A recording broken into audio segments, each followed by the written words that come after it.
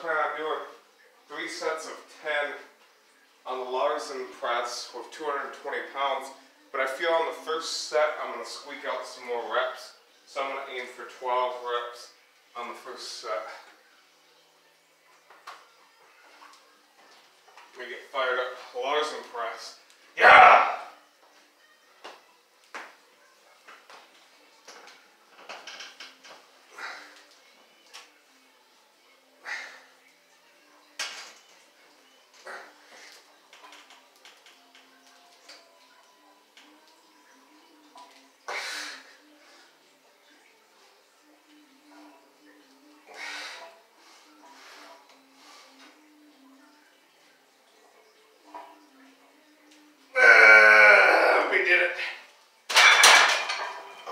Yeah, that was smooth too.